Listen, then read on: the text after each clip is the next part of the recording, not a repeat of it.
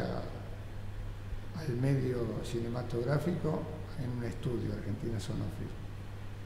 Y entré directamente como jefe de mantenimiento por una circunstancia fortuita de que había fallecido el que era en ese momento jefe técnico de Argentina Sonofil, de los estudios, y entré para reemplazarlo.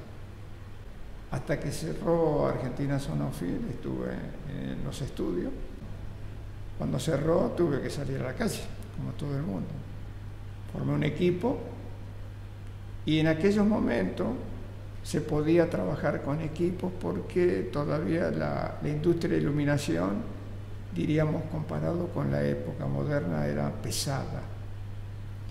Había grandes cantidades de luminaria, las películas eran no muy sensibles, había que iluminar mucho y eso acarreaba que había transportes de gran cantidad de, materiales, grandes consumos y necesitábamos gente como para mover esos equipos de iluminación. Antiguamente un equipo costaba eléctrico de un jefe, un capataz y por lo mínimo seis reflectoristas en un largometraje.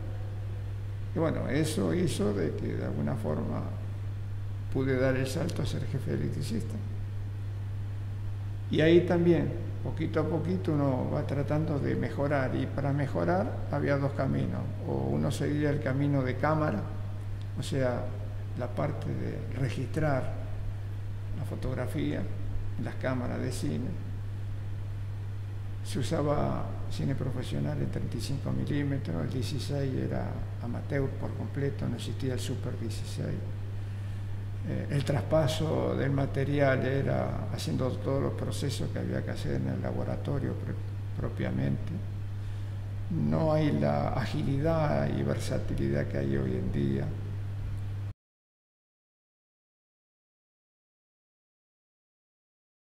Y escalar en aquella época eran las etapas que podía el sindicato permitirte, porque había que tener eh, el aval de los compañeros para poder cambiar de este, categoría, digamos.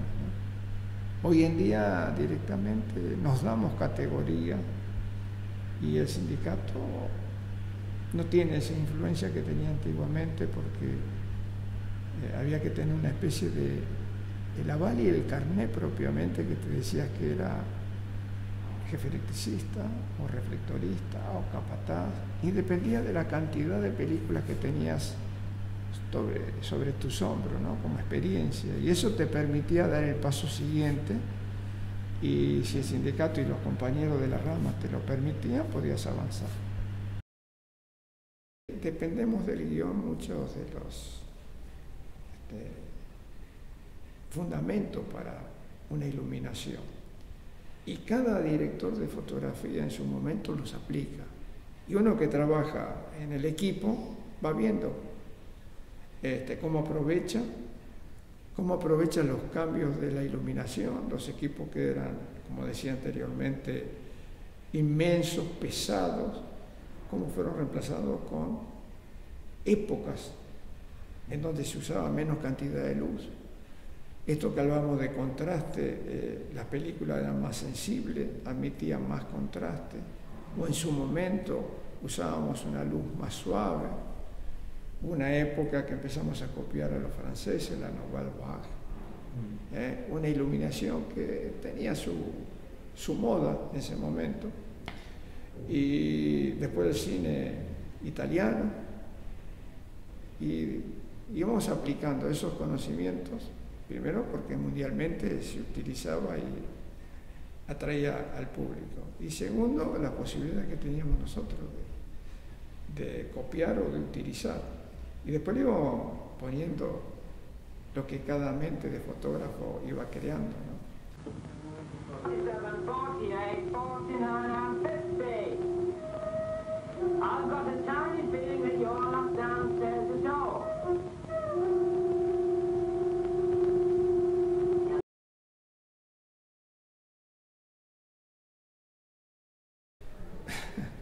Es una pregunta que más vale es un tema, no como fotógrafo, es un tema de narración, es un tema de directores, es un tema de un país que está buscando de alguna forma una emancipación y lo vuelca en el cine. Nosotros tenemos muchas etapas de esta en nuestro cine, ¿sí o no? La época actual es muy distinto a la época, de alguna forma, en que nuestro país no podía hablar. Entonces, de alguna manera, se manifiesta donde en el cine. Entonces tenemos el cine que es de vanguardia, que no se ve en las salas de proyección, y ese es un cine de alguna forma que está tratando de gritar algo. Bueno, y es un poco eso de la, Latinoamérica lo que ha pasado con muchos países, ¿no? O sea que es un tema no más de fotografía, sino más vale de